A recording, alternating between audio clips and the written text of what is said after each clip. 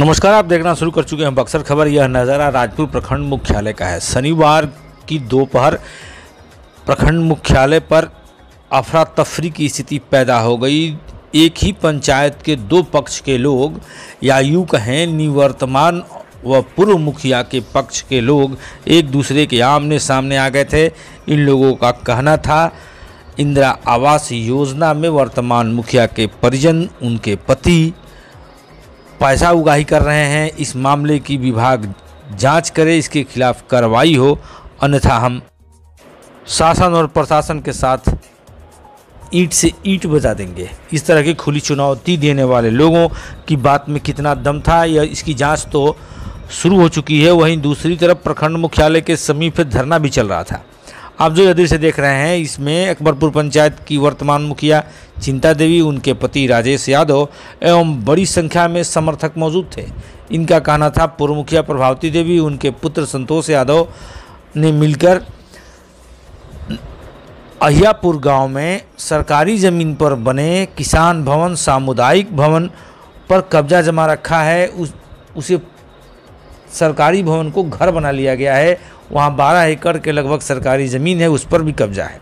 आप जो यहाँ लोगों की लंबी कतार देख रहे हैं, इसे इसे देखकर आप अंदाज़ा लगा सकते हैं कि दोनों तरफ़ से लोगों को बड़ी संख्या में आमंत्रित किया गया था। यह नज़ारा पंचायत मुखिया चिंता देवी के समर्थकों का है, जो धरना देने पहुँचे थे। इन लोगों ने एक दूसरे पर आरोप भी लगाए, हम उनकी बातें सुनाएँगे। फ़िलहाल पूर्व मुखिया प्रभावती देवी के ज्येष्ठ पुत्र मनोज यादव एवं उनके पुत्र संतोष यादव जो वहाँ पहुँचे थे, उनके आरोप सुन लीजिए। पंचायत में तमाम गरीब गुरबा से हर इंदिरा आवास में चालीस हज़ार रुपया पहला किस्ती आता है और उस किस्ती में आठ हज़ार दस हज़ार रुपया हर गरीब से ज़बरदस्ती लिया जाता है। इसी के समक्ष में हम लोग वीडियो साहब को ज्ञापन देने के लिए आए हैं। अगर इस पे रोक नहीं लगा तो हम लोग ब्लॉक जिला टोटल जनता के आवाज़ से बंद कर देंगे।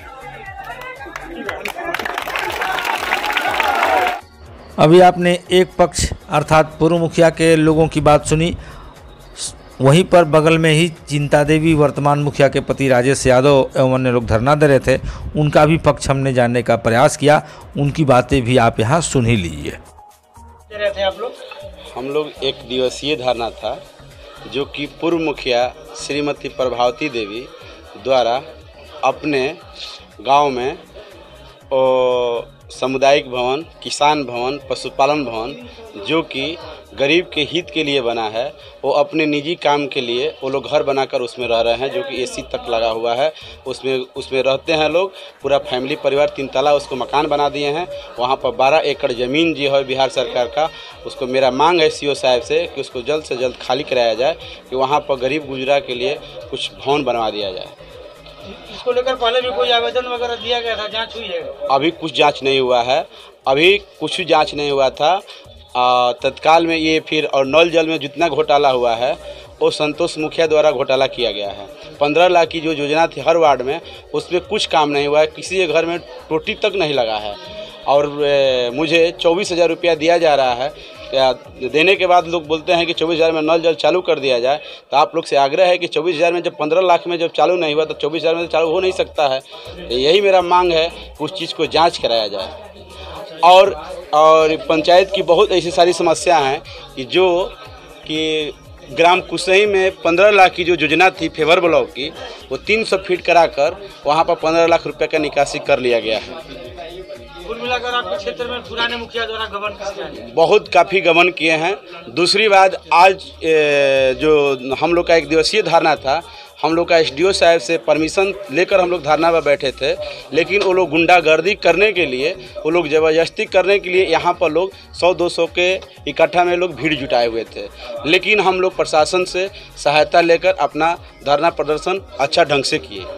जैसा कि देखने में आया वे लोग नारे लगा रहे थे कि वर्तमान मुखिया द्वारा इंदिरा आवास वगैरह में प्रधानमंत्री आवास में पैसा लिया जा रहा है। हाँ इस चीज़ को लिए हमारा भी आवाज़ है कि अगर उसमें गड़बड़ी पाया गया तो हम निर्दोष हैं, दोषी हैं। अगर मुझ पर झूठवा एग्ज़ाम लगाया जा रहा है, उसको जाँच करा लिया जाए कि कौन उसका पैसा मांगा जा रहा है पहले में ही वो बीस बीस हज़ार रुपया लोग देने का काम किए हैं। आज जाकर आप लोग जनता से पूछ लीजिए कि कोई जनता अगर राजेश मुखिया को एक रुपया दिया होगा तो अगर मुखियागिरी अगर इस्तीफा नहीं दे देंगे तो जो न सो कर देंगे।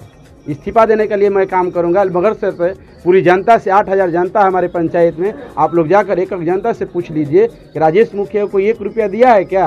आपका परिचय? मेरा नाम राजेश कुमार यादव मुखिया पति कौन सी पंचायत? अकबरपुर पंचायत।